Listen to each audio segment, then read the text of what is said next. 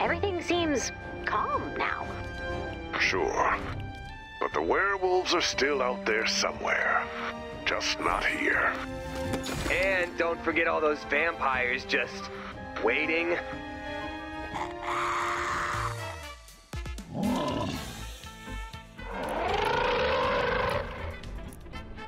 Not to mention all those guys. If we could just go a few weeks without unleashing something